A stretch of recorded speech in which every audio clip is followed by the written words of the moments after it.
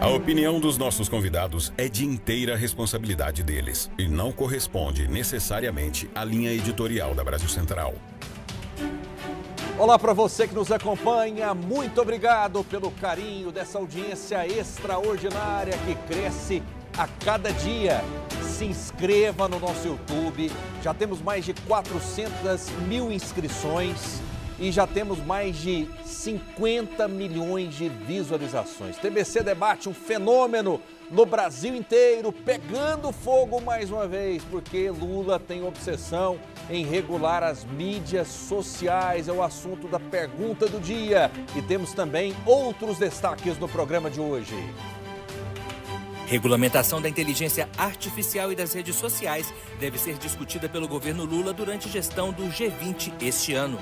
A liberdade de expressão não pode ser utilizada como escudo protetivo para a prática de crime. Ninguém está querendo combater fake news com esse projeto, que é calar aqueles que discordam da posição do ministro Alexandre de Moraes ou do governo Lula.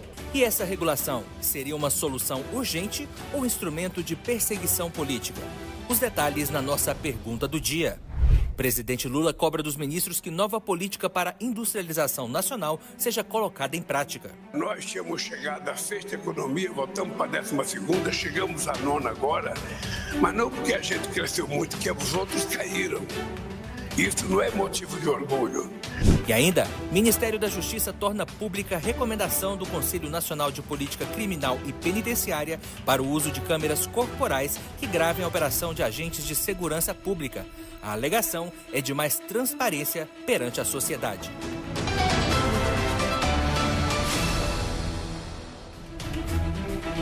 Comigo, dois gigantes debatedores, muitas vezes com situações antagônicas, se bem que um dos nossos convidados, ele muitas vezes ele tem uma opinião mais para a direita, às vezes mais para a esquerda, enfim, a gente não consegue decifrá-lo exatamente em um, dois, três programas. Ele é o Habib Badião, cientista político, professor. Seja bem-vindo, tudo bem? Obrigado, Rafael. E para mim é um prazer muito grande estar mais uma vez aqui no TBC Debate, colocando as nossas ideias para que você, telespectador, formule a sua, que é importante que vamos colocar e você depois toma suas conclusões. Isso é fundamental, que eu sempre digo. Brigam as ideias e não as pessoas. Você ouve todos os lados para que você em casa, que é suficientemente inteligente, tire as suas próprias conclusões. Outro fenômeno das redes sociais, vereador, sempre muito bem votado, Sargento Novandir. Tudo bem? Seja bem-vindo. Tudo bem, Rafael. Para mim é uma satisfação mais uma vez participar do TBC Debate. E como o professor disse, disse muito bem que aqui através do debate, cada um pode tirar suas conclusões e entender cada vez mais de política. Satisfação participar no debate primeira vez com o nosso Badião, cientista político e professor. Professor é uma classe que eu tenho lutado por ela dioturnamente, inclusive pelos professores da rede municipal de educação, auxiliares e administrativos temporários. Daqui a pouco eu vou perguntar para o cientista político, o Badião, e ele vai ter que fazer uma profecia, porque está muito longe, mas eu quero saber dele. Por exemplo, quem vai ser o próximo presidente da República? Já dá para fazer uma análise corajosa ou ele vai dizer que é muito cedo? Saiu pesquisa também para a Prefeitura de Goiânia. Daqui a pouco a gente repercute. Um equilíbrio muito grande, mas Gustavo Gayer, né, que é conservador, ele está na frente. Gustavo Gaia, que já esteve no programa várias vezes, e Bruno Peixoto, que é presidente da Assembleia Legislativa, subindo muito, mas muito mesmo nas pesquisas.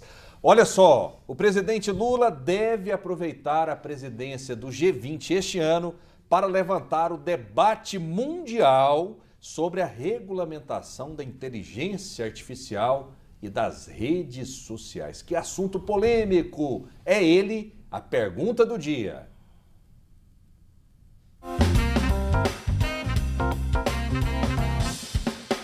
O Brasil pretende se apoiar na presidência do G20, grupo das 19 maiores economias do mundo mais a União Africana, neste ano, para discutir a regulamentação da inteligência artificial e a responsabilidade das empresas com a desinformação online. Esses temas foram incluídos na agenda do grupo de trabalho de economia digital do G20.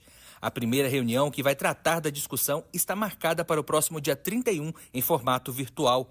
O assunto ganhou forte apelo nos últimos anos devido ao receio da manipulação de informações e imagens por meio de inteligência artificial para a produção de notícias e vídeos enganosos. Ainda de acordo com o governo, a intenção não é discutir apenas a responsabilidade jurídica sobre as informações veiculadas e produzidas com inteligência artificial, mas também chamar atenção para a responsabilidade social e com as chamadas deepfakes, resultado de manipular imagens de figuras públicas para promover falas forjadas que podem afetar o usuário. Para especialistas, contudo, a expectativa de sucesso brasileiro no debate não é das melhores. Além de não ter muitos avanços internos sobre o tema, as diferentes opiniões e de interesse dos países podem dificultar um consenso ou até mesmo a criação de diretrizes efetivas. Aqui no Brasil, o principal projeto em tramitação é o PL 2338 de 2023, apresentado pelo presidente do Senado Rodrigo Pacheco, que quer criar um marco legal para o setor e que definitivamente, de fato, não há uma regulação devida e clara em relação a esse novo cenário, esse novo mundo que nós vivemos. Então, é uma obrigação do Congresso Nacional, da Câmara dos Deputados, do Senado Federal, entregar a regulação normativa legal da inteligência artificial, como é em relação também às redes sociais, sob pena de acontecer aquilo que nós parlamentares sempre é, não desejamos e reclamamos, inclusive, que é a decisão do Poder Judiciário sobre aquilo que é uma lacuna legislativa. Em paralelo, o Tribunal Superior Eleitoral propôs uma série de regras para evitar que a inteligência artificial seja usada de forma abusiva nas eleições municipais deste ano. É impressionante o avanço da inteligência artificial,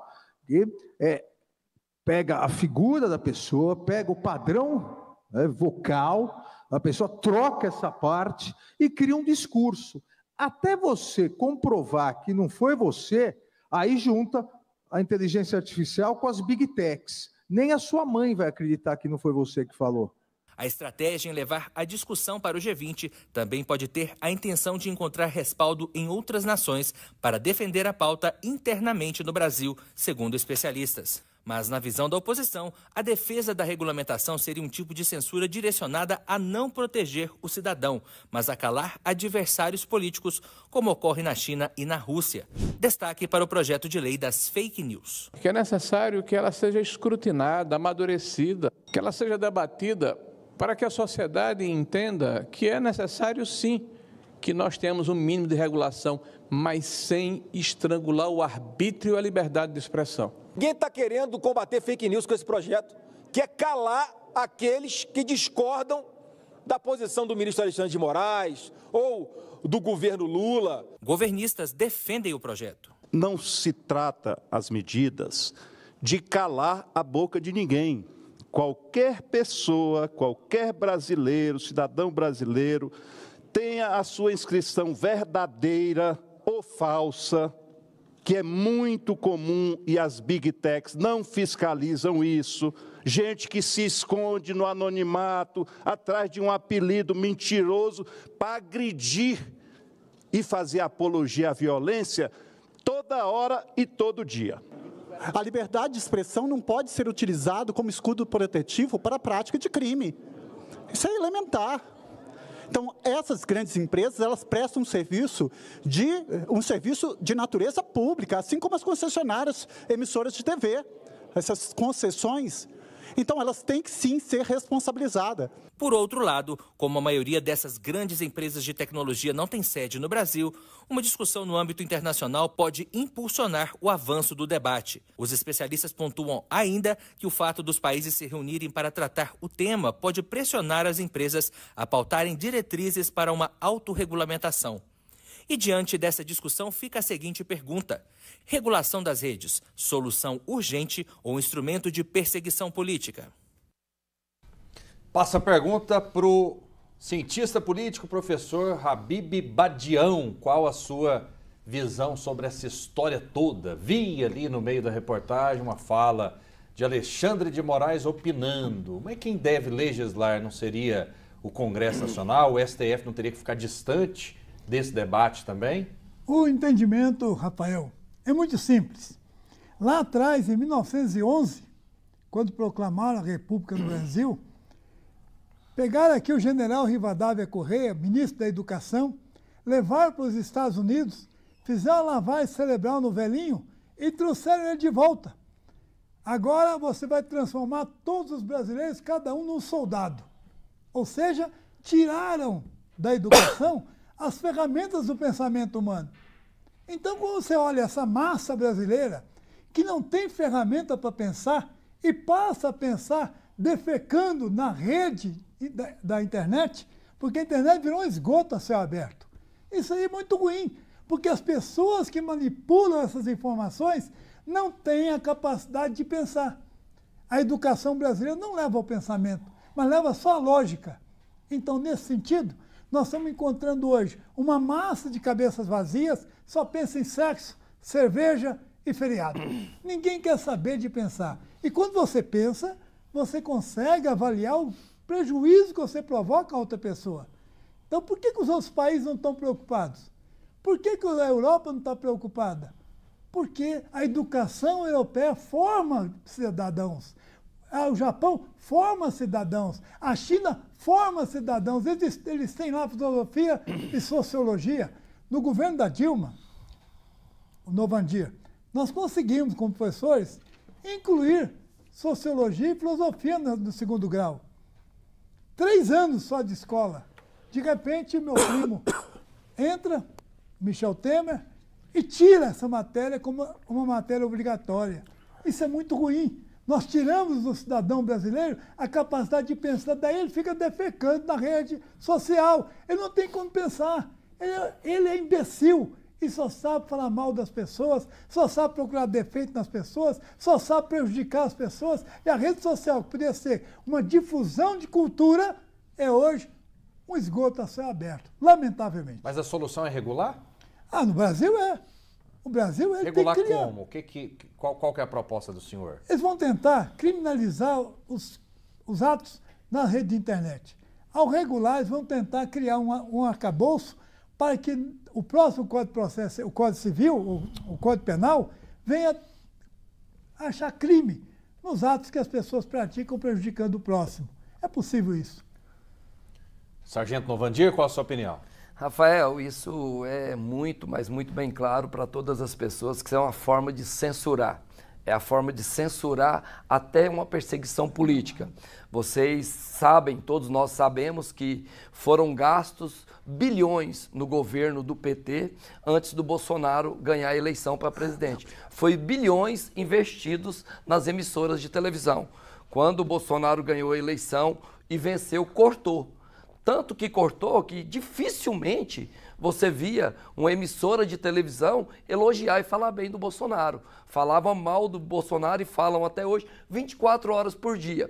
E hoje, com o Lula no governo, com certeza esses bilhões vão voltar a pagar emissoras de televisões para as propagandas. Então, ou seja, está tudo dominado. A imprensa vai divulgar o quê? O bom trabalho do Lula, que não existe, e vai praticar a condenação do Bolsonaro falando mal dele. Então isso é uma perseguição política, ninguém tenha dúvida disso. E a única maneira de nós, de direita, mostrar as verdades dos fatos, o que, que está acontecendo no nosso país, é através das redes sociais. A emissora de televisão não vai falar recebem bilhões, professores, para se calar e divulgar notícias boas do nosso Brasil. Essa é a grande verdade. E a única maneira que temos de mostrar as verdades é nas redes sociais, é compartilhando o vídeo, é mostrando o déficit que o Brasil deixou em 2023, é mostrando a verdade dos fatos, é mostrando como que um senador vota numa eleição, no, no, numa votação no plenário,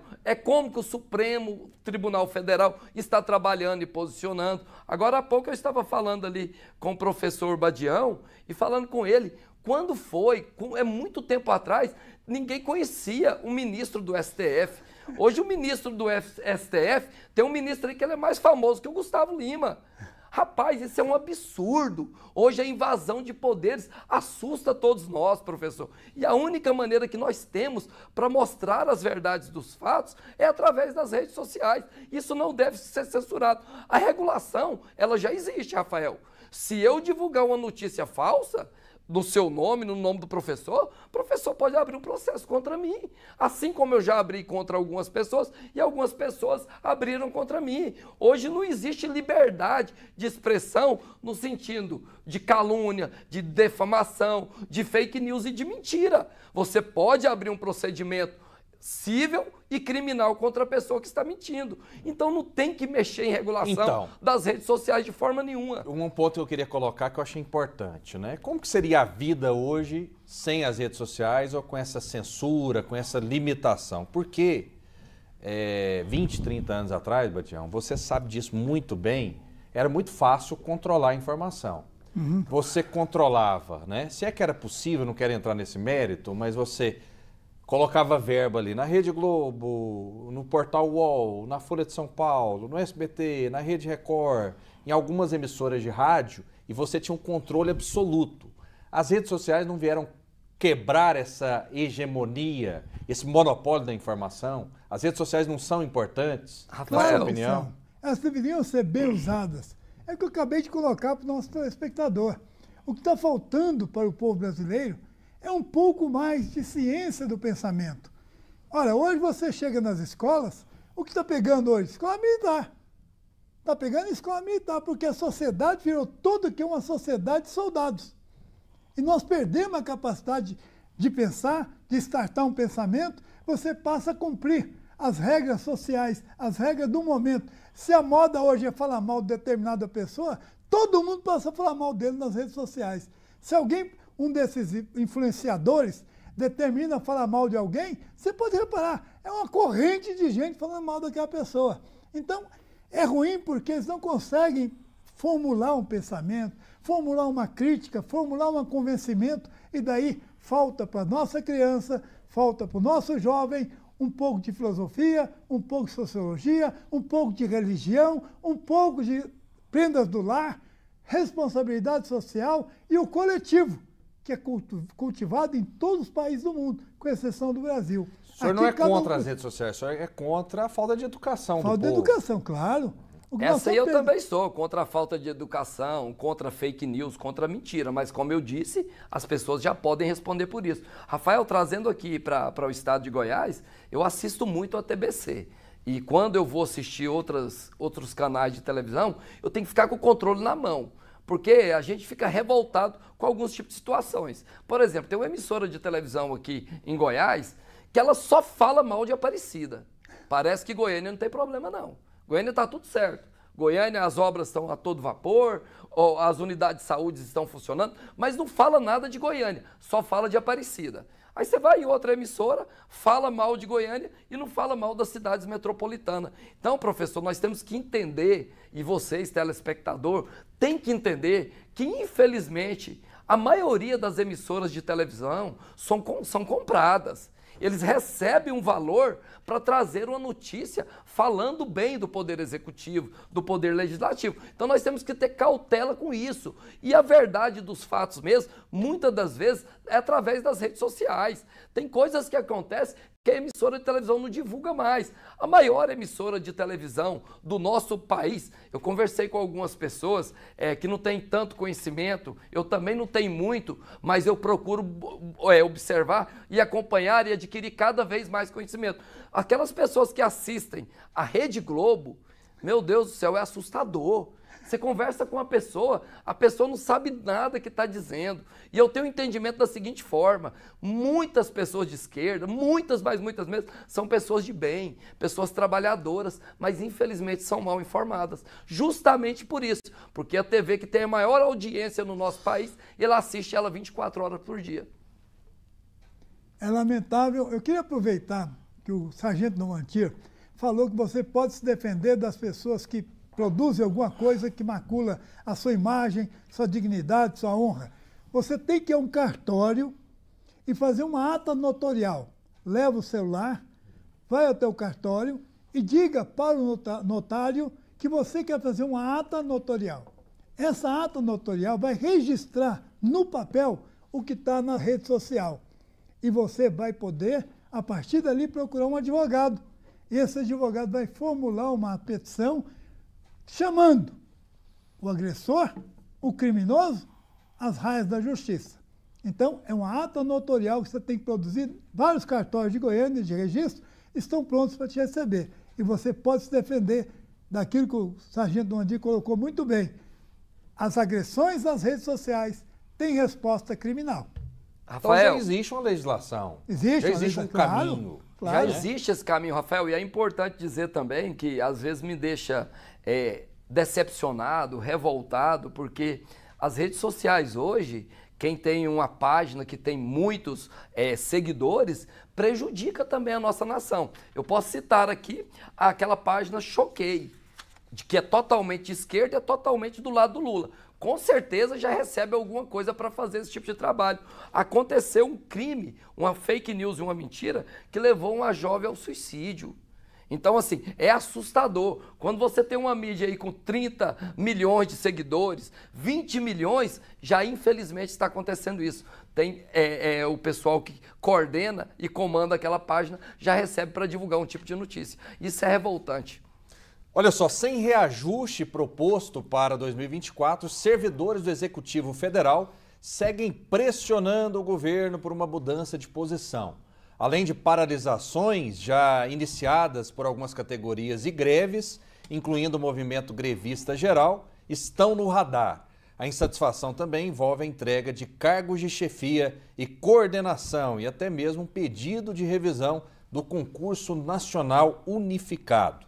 No fim de 2023, foi apresentada uma proposta que, na prática, congela os salários dos servidores federais neste ano e promete alterações apenas em 2025 e 2026. Para 2024, o governo se limitou a oferecer reajustes em auxílios. Isso se dá porque o governo federal, nesse momento, não pensar em reajustar é, o salário dos servidores. É o aumento da, dos gastos públicos. Vou começar essa rodada com o Sargento Novandir. Qual a sua visão? A minha visão é, mais uma vez, o estelionato eleitoral. A esquerda, o presidente Luiz Inácio Lula da Silva, disse a todo tempo nos debates que nós temos que valorizar o servidor público, que nós temos que dar reajuste, que nós temos que realmente reconhecer o trabalho deles Porém, 2024 já limitou o reajuste, não existe reajuste. Mais um estelionato eleitoral do Luiz Inácio Lula da Silva. Assim como ele dizia também a todo tempo, nós temos que valorizar as nossas mulheres. As nossas mulheres têm que ocupar cargos de chefia. As nossas mulheres têm que ser ministra do STF nada aconteceu também. Até hoje, nada dessa forma. Nós temos que valorizar a classe LGBTQIA. Até hoje, nada também. Ou seja, no meu entendimento, mais um, um estelionato eleitoral que eu já sabia que iria acontecer e não tinha 1% de dúvida disso. Professor Badião. O presidente da República, infelizmente, Rafael, ele governa com 19% do orçamento da nação. Ou seja, o, governo, o presidente da República tem à sua disposição 600 bilhões de reais, enquanto que os banqueiros roubam 2 trilhões 652 bilhões de juro de uma dívida que está prescrita desde 69.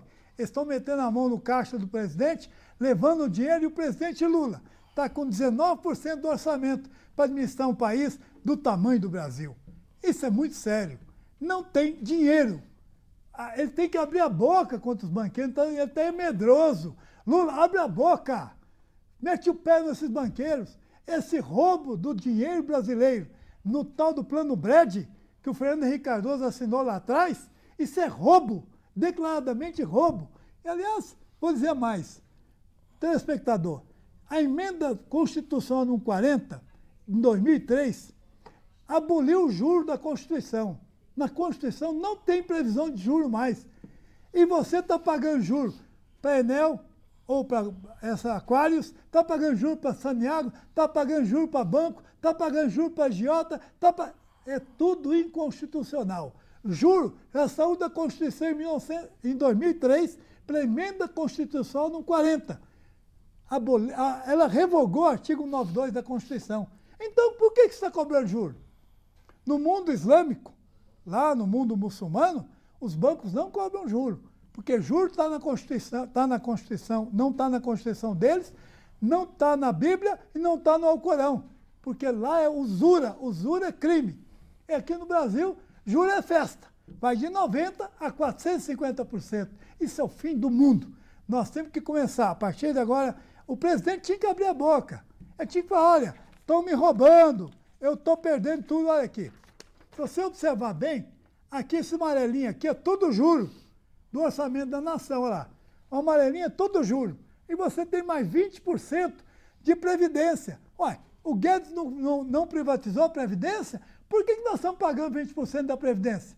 O dinheiro fica com os banqueiros e o governo paga os aposentados e pensionistas. Olha outro roubo. Sobra só 19% para o presidente Lula governar o país. Novandir, não tem dinheiro no governo.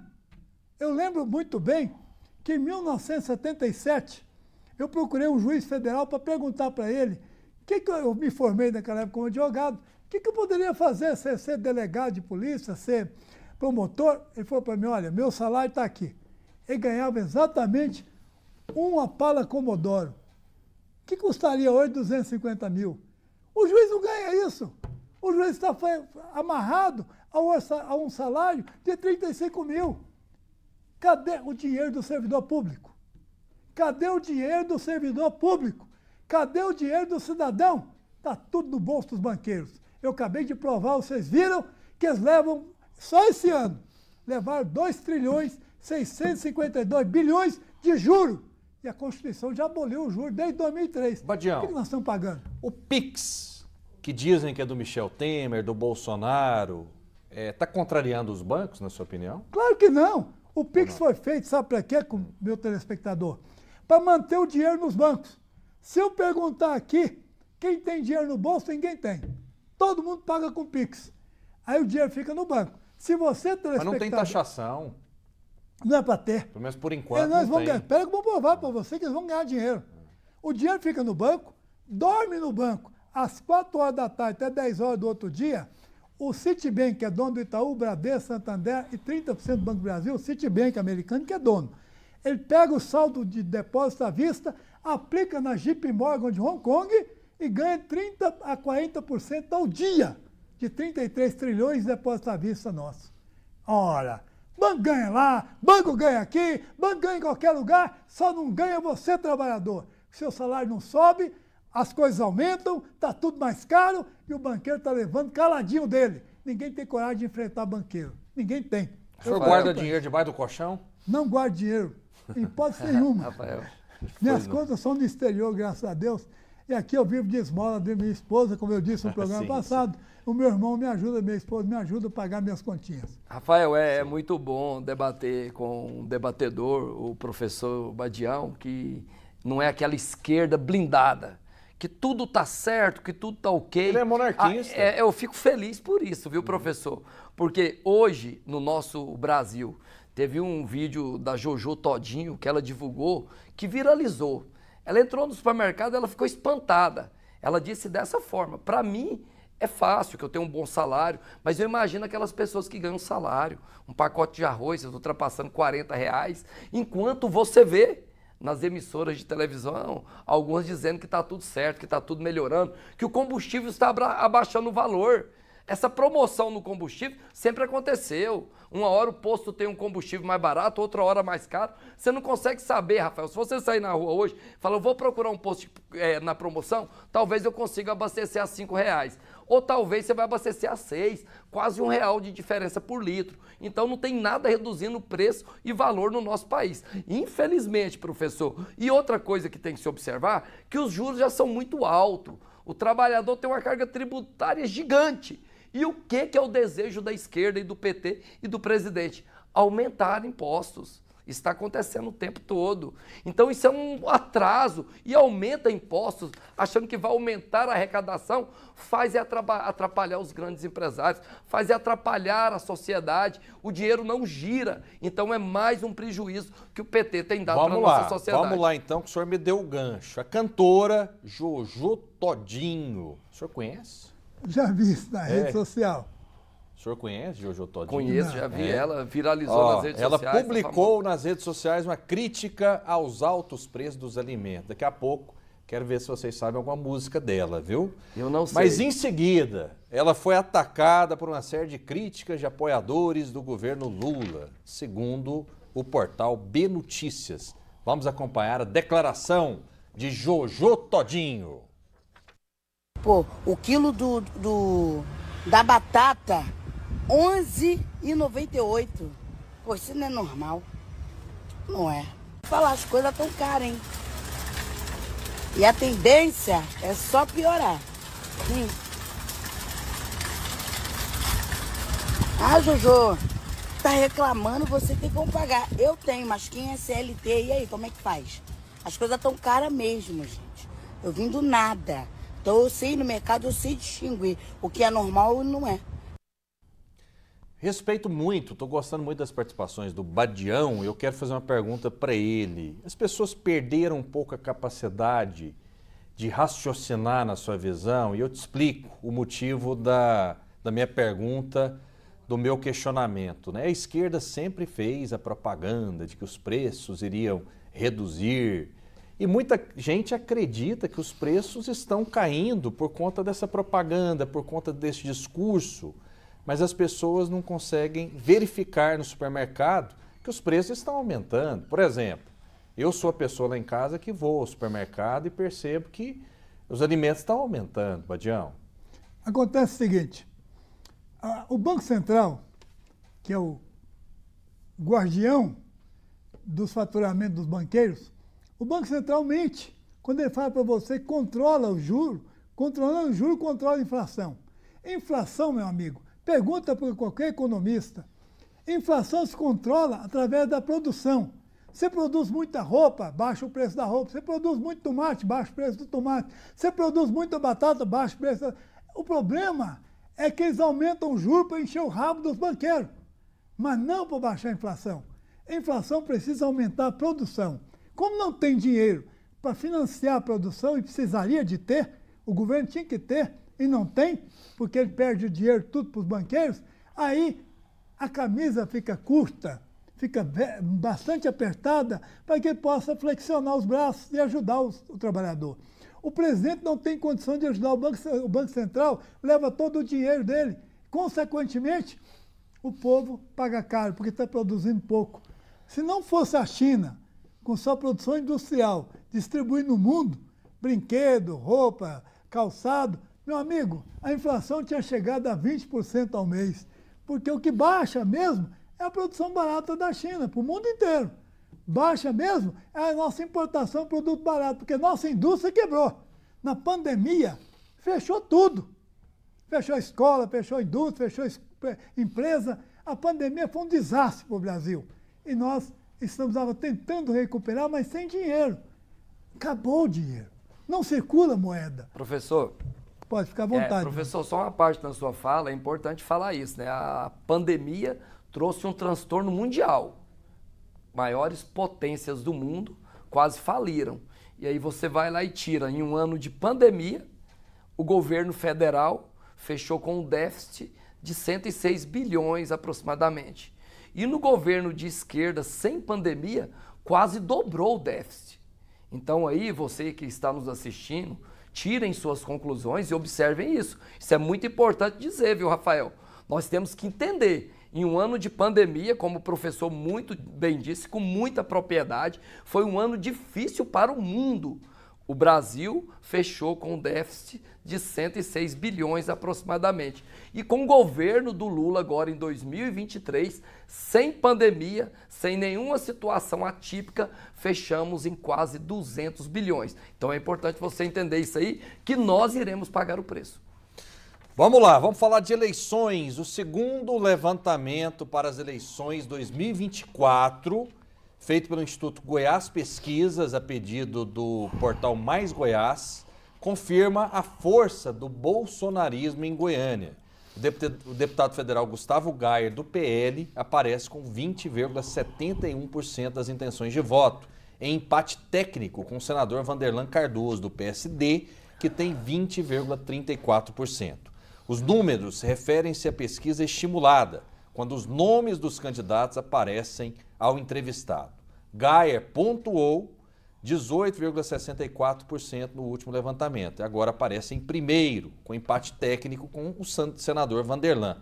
A pesquisa reflete essa força né, do bolsonarismo que a gente já disse. Bruno Peixoto aparece na terceira colocação, ele foi o que mais cresceu. E Adriana Acorce, do PT, está em quarto. Vou acionar o nosso cientista político, o Habib Badião. Qual a sua avaliação sobre essa pesquisa? Gustavo Gaia tem a simpatia, a inteligência de um grande tribuno. Acredito que ele, como tribuno, tem o seu lugar. Por outro lado, Bruno Peixoto também caminha bem, é, um, é o nosso presidente da Assembleia Legislativa, também bastante inteligente, bastante operativo. E lá o Vanderlan Cardoso volta a aparecer na pesquisa. Vanderlei é um administrador, administrou bem a, o município, senador Canedo, se tornou senador, tem aptidões. Mas a simpatia da Adriana Corse deve crescer, porque eu acredito no trabalho de Adriana Corse, tenho por ela uma simpatia toda especial, acredito que esse número, esses números vão modificar no curso do tempo, porque o que eu espero dos quatro candidatos é um plano de governo. Porque até agora o Lula apresentou um plano de governo. O Bolsonaro ocupou quatro anos de governo não apresentou plano de governo. Dilma não apresentou plano de governo. Ninguém apresenta plano de governo e quer ganhar eleição. Os quatro candidatos que façam a gentileza de apresentar seu plano de governo. Porque acreditar em promessas de político, a gente já está cansado. Eu espero que eles, os quatro, comecem a pensar a partir de hoje para não levar a chapuletada que apresentem plano de governo, porque acreditar em saliva e conversa, eu estou cansado. Sargento Novandir, qual a sua avaliação sobre essa pesquisa? Rafael, primeiramente eu quero dizer que eu lamento muito quando eu vejo algumas pesquisas aí para prefeito da nossa capital e não ver o nome do atual prefeito Rogério Cruz.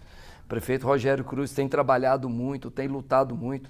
Agora mesmo nós conseguimos recapear algumas ruas lá do Jardim Guanabara. As máquinas estão trabalhando a todo vapor, mas infelizmente, no meu entendimento, ele fez algumas escolhas erradas, alguns erros que cometeu, que está gerando esse resultado hoje. Dizer que eu me sinto mal por isso, por ser vereador junto com ele. E não adianta achar que o prefeito está ruim, não está ruim para os vereadores, não, que está ruim para os vereadores também. Então eu lamento muito isso. Agora, no meu entendimento, é, o Gustavo Gaia vem muito, mas muito forte para prefeito por Goiânia. O, Bruno Peixoto também vem com uma força muito grande por fazer um trabalho de excelência. Foi líder, líder do governador Ronaldo Caiado na gestão passada, na Lego, fez um excelente trabalho. Hoje, presidente da Assembleia Legislativa também está trabalhando muito e mostrando o resultado para todos nós, cidadãos, cidadãos goianos. Então, é um cara que vem com muita força. Eu não acredito, infelizmente, no Vanderlan Cardoso. O Vanderlan Cardoso, no meu entendimento, toda vez que ele está com a eleição ganha, o cavalo está arriado, ele dá o tapa na bunda do cavalo. Qual forma que, no meu entendimento, ele deu o tapa na bunda do cavalo? Quando ele fez um discurso e disse que iria votar para o presidente do Senado, Rodrigo Pacheco. Para mim, ele já perdeu muito com isso, gerou um desgaste muito grande para ele. E agora, por fim, ele votou para o Flávio Dino, para o STF. A direita bateu nele demais da conta. Então era um nome bom, era um nome bom. Eu trabalhei para ele em 2016 contra o Íris Rezende. Eu fui contra o Íris, trabalhei para o Vanderlan. O Vanderlan bateu o Íris na região norte. Então o Vanderlan já teve várias oportunidades. Mas infelizmente eu tenho que dizer isso. O cavalo está arriado, ele bate na bunda dele. E para mim o divisor de água, quem será o prefeito de Goiânia, ou o Gustavo Gaia, ou o Bruno Peixoto, é quem o governador Ronaldo Caiado abraçar. O governador Ronaldo Caiado hoje, em algumas pesquisas, ele tem 83% de aceitação. Nunca chegou uma eleição municipal e um governador estivesse tão bem contado pelo trabalho que ele faz. Então, acho que quem o governador pegar na mão, apertar e falar, ou um desses dois, eu acredito num desses dois nomes. Eu não acredito no Jandarro, eu não acredito em vir um prefeito para Goiânia de outra cidade, porque a, a sociedade está reclamando muito. E na quando, Adriana, quando acredita? dizem que ele está fora, o Rogério Cruz é do Rio de Janeiro, isso gerou um desgaste. Adriana, eu acredito que candidato da esquerda para ganhar uma eleição a prefeito por Goiânia, eu acho praticamente impossível. Hoje, mais de 70% do povo goianiense são de direita. Eu ando em todos os lugares. Esse dia eu cheguei no Clube Atlético Atlético Goiânia tinha dois times para jogar e comecei a falar e falei mal da esquerda de maneira é, displicente. Pensei, nossa, vou ter problema aqui, o pessoal vai me criticar. Por unanimidade, os dois times, todo mundo concordou, todo mundo de direita. Então, assim, a esquerda eu acho que não emplaca. E se o Vanderlan e a Adriana unir, para mim é mais uma vez que o Vanderlan vai prejudicar a candidatura dele. A direita em Goiânia vai prevalecer nessa eleição. Essa é uma tendência, na sua opinião? Eu acredito que a Adriana Costa deve crescer muito mais do que ela está apresentando. Essa pesquisa foi estimulada e pesquisa estimulada ela é meio contratada. Eu acredito que a Adriana Costa ainda ganha a simpatia do, do cidadão goianiense e nós vamos ter um embate muito bom, porque ela deve crescer. Goiânia está precisando um pouco mais de amor. E uma mulher na prefeitura ajudaria bastante. Tem um carinho muito especial para Adriana Costa, como tenho pelo Bruno, como tenho pelo Gustavo Gaia, e espero que esses candidatos mostrem para mim o seu plano de governo. Eu estou doido para. Oh, Rafael, estou doido para ver um plano de governo. Porque o trânsito horrível de Goiânia, o sistema coletivo de transporte horrível, o, sistema, IPTU muito caro. Você chega à prefeitura, a prefeitura está realmente numa situação deficiente perante o cidadão goianiense. Falta eficiência no serviço. Por exemplo, tem né? 16 caminhões estragados lá no, no, no, no pátio lá da Comurg para coletar lixo. Mas o prefeito está dando 2 milhões para os times de futebol. Com esses 2 milhões, conserta os caminhões, manda recolher o lixo, a cidade está debaixo de um monte de lixo. Isso está muito sério. Qualquer telespectador pode entrar aqui no WhatsApp do, do programa TB Debate e você vai ver que tem, nós estamos realmente para te ouvir porque realmente eu ando por aí, estou vendo muito lixo e pouco recolhimento. Isso é muito sério. Habib Badião, no começo do programa eu te fiz até uma provocação, né? Se o senhor falaria sobre a presidência da República, que vai demorar ainda, apenas 2026, mas o jornalismo proporciona é, esse exercício, né? Da gente avaliar o que vai acontecer no futuro. É, o senhor me dizia nos bastidores que acredita que Ronaldo Caiado teria chance numa eleição presidencial? Ronaldo 2026? Caiado está eleito presidente da República. Bobo de quem não entende de política. Não tem um candidato para bater. Porque ele está hoje nas redes sociais, ele fala com a boca cheia. Aqui em Goiás, quem manda é o governador. Bandido não manda aqui. E nós estamos andando na. Eu sei porque eu sou. Eu vim para Goiânia e queimei o pé no asfalto da 24 de outubro. Quando era criança. Eu ajudei a botar os vitrais da matriz de Campinas, porque eu fui coroinha na matriz de Campinas, ajudei a construir a matriz de Campinas. Eu conheci Goiânia e tenho um carinho muito especial pelo Ronaldo Caiado, ele sabe disso. Eu já manifestei para ele várias vezes. Eu nunca vi um governo com tanta austeridade, com tanta dedicação, com tanta vontade de realizar as coisas, como tem sido o Ronaldo Caiado. E está repetindo. Eu vou para os outros estados, pessoal, vocês estão bem lá em Goiânia. Aqui bandido não tem vez. Aqui quem tem vez é o cidadão de bem, quem tem vez é nós, goianienses, nós temos vez em Goiás. E bandido agora vaza daqui, senão vai para a cadeia e vai comer bem lá, comer mal para aprender a respeitar o cidadão de bem. Gosto muito do Ronaldo Caiado. Eleição para presidente da República é dele. Normalmente agora, o Bolsonaro namorando com ele. Os dois estão conversando muito. E se o Bolsonaro ombrear com Ronaldo Caiado, ninguém tira essa eleição de Ronaldo Caiado. Sargento Novandir, o senhor acredita nessa possibilidade? Eu acredito e muito. É, o governador Ronaldo Caiado provou no estado de Goiás que segurança pública politicamente traz um resultado de excelência.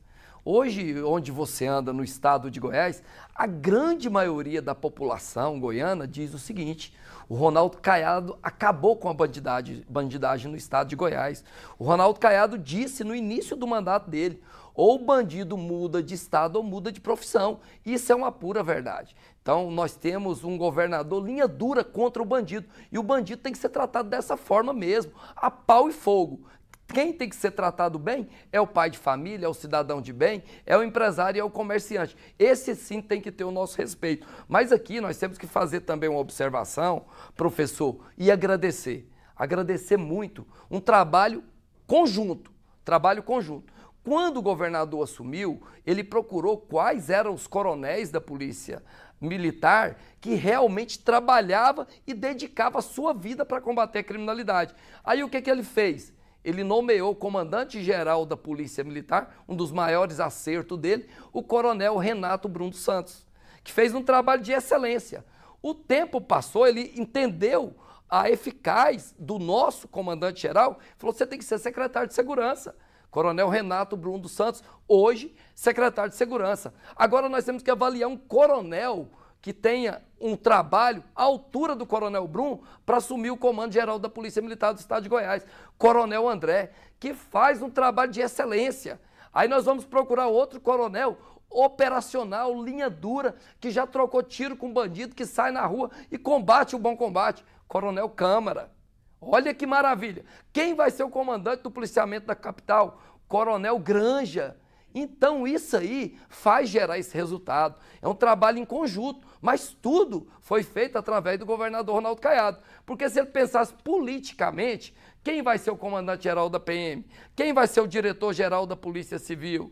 Quem vai ser o, o, diretor do sistema prisional? Não, ele buscou quem tem competência e pensa da forma de, do, do governador. Então o resultado foi de excelência. Parabéns ao nosso governador, parabéns a todos da Força de Segurança, parabéns àquele aluno soldado. Eu tenho um aluno soldado que é, aluno soldado e sobrinho meu que eu trato igual um filho. Está trabalhando no nono batalhão. Nono Batalhão também faz um trabalho de excelência na região norte, através do Major Almeida, reduzindo a criminalidade dioturnamente. Saiu para a rua, o, o, professor, já deu um flagrante em um roubo em andamento. Prendeu em flagrante o criminoso. Mas por que, que o aluno soldado vai para a rua e combate o bom combate e tem coragem? Porque ele tem respaldo. Ele tem respaldo do governador, tem respaldo do secretário, do comandante-geral da Polícia Militar. Sabe o que, que já aconteceu no governo do Ronaldo Caiado, Rafael? O policial pega uma boa ocorrência, o telefone toca, o policial atende. Alô, pois não, é o soldado, o aluno soldado ou sargento. Quem está falando é o governador Ronaldo Caiado. Parabéns pela ocorrência. Continue fazendo isso, valorizando nossos profissionais. Então, dessa forma, Rafael, nós temos ânimo, nós temos coragem de bater na porta do criminoso. Nós podemos ir lá na porta do líder da facção criminosa e bater. Se formos recebidos a bala, revidamos a injusta agressão e temos respaldo para isso. Então, parabéns a todas as nossas forças de segurança, em especial ao nosso governador Rafael, Ronaldo Caiado. Interessante que o que o Novandir colocou é que nos governos anteriores quem escolhia esses comandantes era a política. Era o senador, o deputado federal, o deputado. Ele ia no governador, para comandante da, do, do, batalhão tal, eu quero ciclano, quero beltrano. Era político o negócio. E o cara era um preguiçoso, um puxa-saco daquele político, ele punha lá. O governador falou, não, aqui ninguém tasca. Ele fechou a questão e buscou os que mais trabalham. O governador realmente, a partir daí, ele tomou as rédeas do governo. E nós estamos precisando disso. Um presidente toma. Uma vez eu conversei com o Sarney, lá em São Luís. Sarney, como é que foi sua vida como presidente? Ele olhou para a minha cara e falou assim: nem 25% das minhas ordens eram cumpridas. 25%. Professor, e é bom colocar também, Rafael, é bom colocar também a observação, não só na segurança pública, é, na educação. Nós ficamos durante um período em primeiro lugar no Brasil, agora estamos em segundo. Eu acredito que nós vamos assumir a primeira posição. Na infraestrutura, através do Pedro Salles, que faz um trabalho de excelência também. Na saúde. Então, assim, o governador tem acertado diuturnamente, mas é justamente pelo que o senhor acabou de dizer e eu disse também. Não é indicação política, é competência para cuidar do povo goiano. E dessa forma está dando certo. Olha só, o presidente Lula defendeu ontem a retomada da industrialização nacional durante o lançamento da nova indústria Brasil. Sobre o país se tornar a nona economia do mundo, Lula afirmou que não foi que a gente cresceu muito, mas os outros caíram.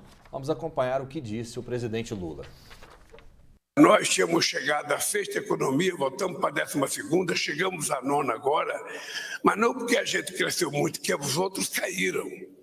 Isso não é motivo de orgulho. Que cada ministro saia daqui com um livro desse embaixo do braço, porque vocês vão ser cobrados. O problema não começa aqui. Não termina aqui, ele começa aqui. Nós temos mais três anos pela frente e que o objetivo aqui, me parece, que é para a gente chegar no final dos três anos, a gente ter uma coisa concreta para a sociedade falar. Discutimos, aprovamos e aconteceu. O nosso problema era dinheiro. Se dinheiro não é problema, então nós temos que resolver as coisas com muito mais facilidade. Industrialização no Brasil. É uma conversa para boi dormir, vai sair do papel mesmo, porque esse anúncio foi feito depois de uma crítica muito forte do Aldo Rebelo, né, que é comunista na sua, na sua origem, na sua essência, dizendo que era um desastre o governo Lula nessa questão da industrialização. Será que esse plano é bom mesmo, né? Pelo que eu apurei, pelo, pelo que eu li, né? Muitas vezes o governo vai injetar dinheiro em algumas empresas públicas, como aconteceu no passado no caso da Oi e acabou não dando certo. É um projeto bom ou um projeto ruim? Qual a sua visão? A visão é simples. Não tem dinheiro para o, para o empreendedor. Ele não há, não tem dinheiro. Nós vamos levar em consideração o seguinte: o Brasil vem desarticulando seu parque industrial desde 1951 para cá. Ele criou lá uma fábrica nacional de motores, criou não sei o quê, criou não sei o quê, daqui a pouco tem que privatizar aquela empresa porque o índice de corrupção é muito grande. Hoje nós estamos com um problema sério com a Petrobras. A Petrobras extrai 3 milhões de barris por dia, vende e importa 1 bilhão, 1 milhão e 750 mil barris e cobra a gasolina mais cara do mundo. Cadê os 3 milhões que ela exportou? Por que não abate no preço que comprou? É mais um dos grandes problemas que nós temos para resolver, porque o transporte, o combustível, a energia, a matéria-prima, tudo isso está injetado de impostos pesadíssimos e o coitado do empresário brasileiro trabalha com matéria-prima muito cara, trabalha com sem o respaldo da indústria que deveria ter, como tem nos outros países. O mundo todo tem indústria. O Brasil tem indústria desarticulada, envelhecida. Então, o Brasil precisaria de reviver isso. Mas para isso, Rafael, a educação brasileira tinha que mudar. Nós tínhamos que ter escolas técnicas.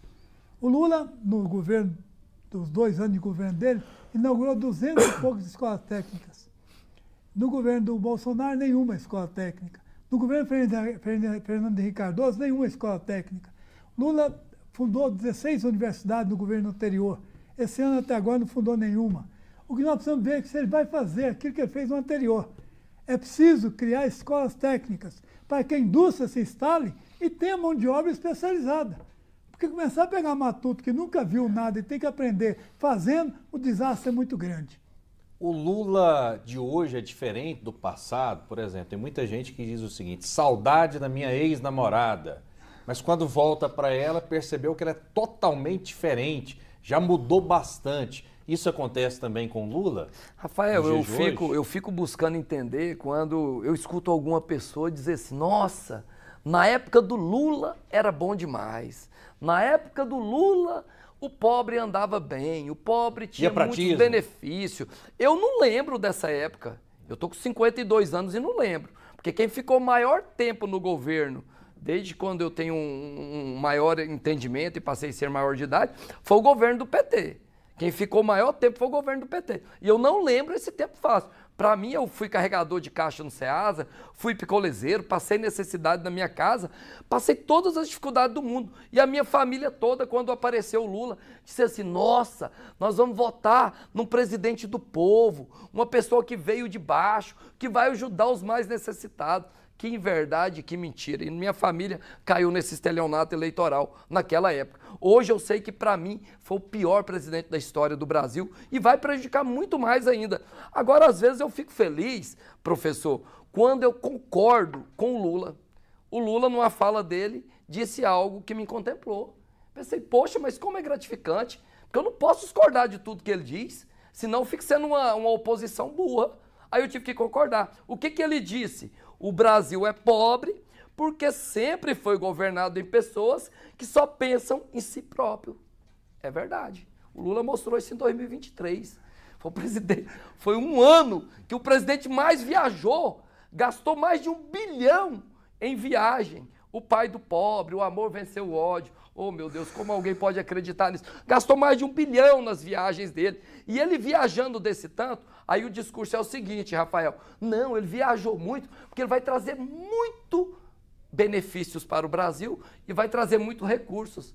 O Bolsonaro viajou muito menos em 2022 e trouxe muito mais que o Lula, que não para de viajar em 2023. Lula, trabalhe um pouquinho agora pelo Brasil, para de viajar com essa comitiva, aquela galera que enche avião. Às vezes tem que ir até dois, que só um não cabe. Não vai curtir tanto a vida, não. Vamos pensar um pouquinho no povo brasileiro? Realmente, o presidente Lula tem viajado.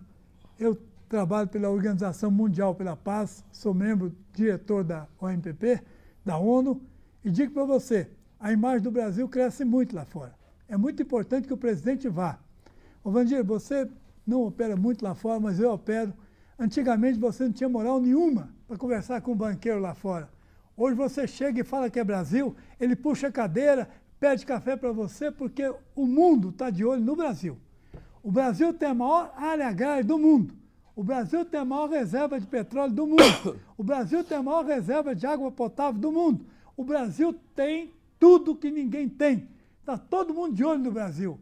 E né, agora sim o presidente pode converter em créditos essas viagens dele, trazendo de volta o Brasil para ser acreditado lá fora. É muito importante para nós, para que nós possamos, na medida do possível, romper com o Banco Central, que segura todos os investimentos externos. E o presidente tem que sentar com o Banco Central, tem que acabar com essa autonomia do Banco Central, tem que abrir essa porta para que os recursos do exterior venham para o Brasil, venham investir no Brasil, para que nós possamos ter desenvolvimento. Indústria sem dinheiro não existe. Indústria com tributo pesado não existe. Indústria com folha de pagamento pesado não existe. Só existe uma forma, presidente: desonerar a folha de pagamento, desonerar. Que ele não quis desonerar, né? Ele, ele, não, não quer. Quis. Ele, ele não... Quer, quem está mandando nele é o banqueiro. Então, olha, ah, parabéns. É aí tá eu gostei nele. muito da sua fala. Parabéns. É o banqueiro que manda no governo Lula. É uma verdade. Ah, o, pa... assim, o arcabouço do Haddad, o que, que é? É verdade, Mais parabéns. dinheiro no bolso do banqueiro. Parabéns, professor. Mas eu acho engraçado que o Lula tem a canetinha na mão. É, é o homem mais poderoso do Brasil, até porque ocupa o Palácio do Planalto, né? Ele tem a cadeira. Por que, que ele não faz algo, não bate a mão na mesa? Ele não Porque pode não bater tem a mão poder, na mesa? Rafael. Ah. Não tem poder. Quem tem poder é o Congresso Nacional. Mas ele... Nós estamos com a Constituinte, onde a responsabilidade é do presidente, ele põe a cara na frente, e o Congresso Nacional é que de fato governa. Ali sim estão as decisões que modificam a decisão. Olha lá, ele não mandou lá onerar a folha, o Congresso vai devolver aquilo para ele. E quem manda é o Congresso. Mas ele tem maioria no Congresso. Não tem, não, isso é engano. A maioria Rafael, dos interesses deles. Rafael, o Congresso hoje, depois de tantas barganhas e tantas negociatas, o Lula aprova o que ele quiser. O que ele quiser passar ali está dominado. Tanto que foi provado isso através do, do Flávio Dino. Tinha uma rejeição muito grande. No começo foi só ir lá e articulou, acertou, tá tudo certo e aprovou. Agora, professor, o recurso que o senhor falou que vai chegar no Brasil, é... eu não gosto muito de ser pessimista, não, mas eu gosto de ser realista. Tem umas pessoas que costumam dizer que talvez esse recurso ele tá vindo de tartaruga. E a tartaruga vai quebrar a perna e vai passar para a lesma. Nosso tatataraneto vai conhecer esse recurso, porque não chega não, infelizmente. Sargento Novandir, muito obrigado pela sua participação mais uma vez. Rafael, que te agradeço mais uma vez. Muito obrigado a todos os telespectadores do TBC Debate. Me acompanhe nas redes sociais, Instagram, Sargento Novandir. Estou na Câmara Municipal de Goiânia, meu gabinete é o 08, à disposição de todos vocês. Muito obrigado, uma satisfação debater com o Badião, que é uma pessoa que não é blindada. É de esquerda, mas reconhece as falhas e os erros. Eu não sei o que, que o Badião é, mas eu sei que eu gosto dele aqui. Habib Badião, cientista político e professor. Agradeço a todos vocês. A você, telespectador, que teve paciência de nos ouvir. Aqui é o TBC Debate. As nossas ideias, no final, é a sua ideia que nós queremos ver crescer. Sem dúvida. O Habib Badião é meio que uma metamorfose ambulante, né? Toda hora ele dá uma opinião, ele não tem aquela paixão política e para cada assunto ele tem uma opinião. Isso é muito legal e muito diferente nos dias de hoje. Muito obrigado, fiquem com Deus e até a próxima.